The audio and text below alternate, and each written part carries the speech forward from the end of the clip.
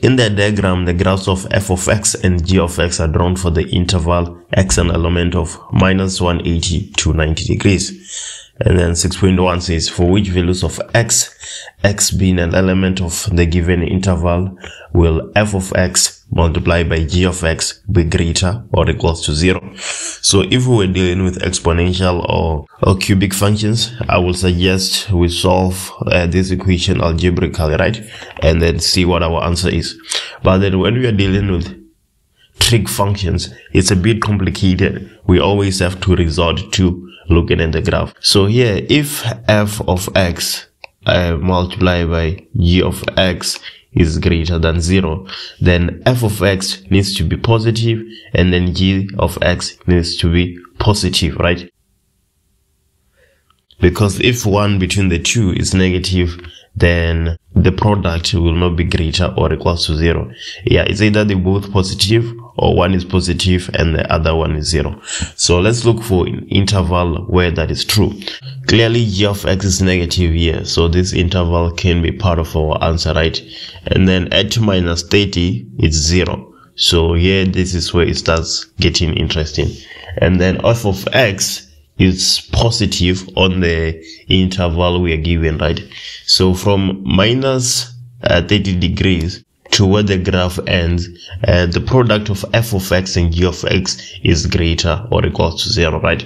So our answer here will be x.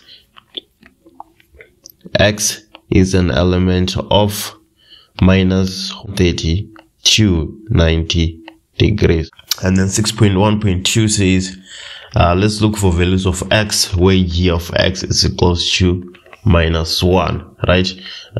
Let me just erase this and let's look at g of x. Uh, so g of x, we're looking for values where it is equals to minus 1. Uh, this is minus 1 and this is minus 2. Here at minus 180 degrees, g of x seems to be at minus 1. And where else? Let's just draw a line and see. And at minus 60 degrees, it seems like it's at um, minus 1. What I'm doing here just gives us an idea of where the point we're looking at is, right? So now what you do, you substitute minus 180 into the equation of g of x and see if you get minus 1.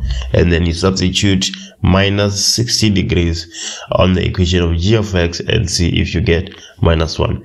And that is exactly what I'm getting. So here, uh, the values of x for which g of x is equals to minus 1 will be x is equals to minus 180 degrees and when x is equals to minus 60 degrees right? It's easy to see on the sketch but you always have to put it in your calculator and see if it is true.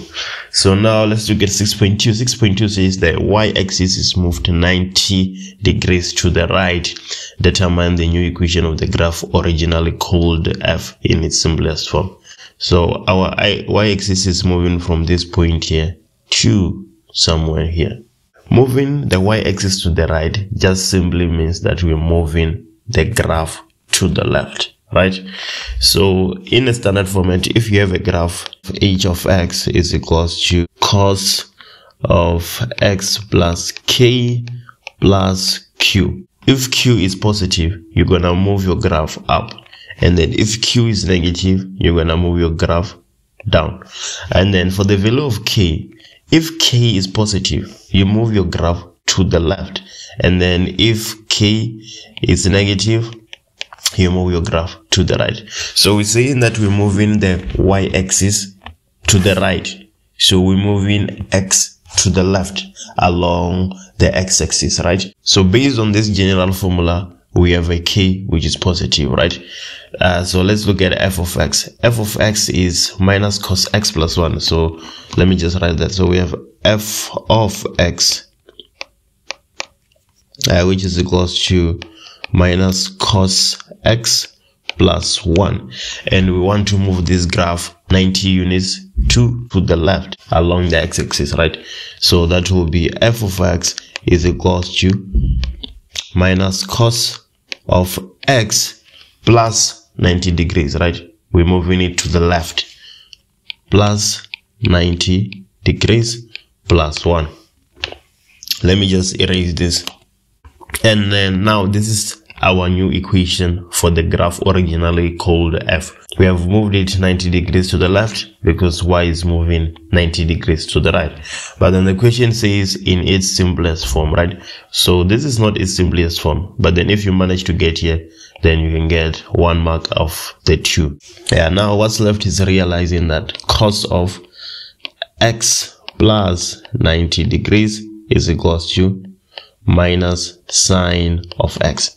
So if you substitute that back in your equation, you get f of x is equals to minus multiplied by minus sine of x plus 1. So this will be equals to sine x plus 1.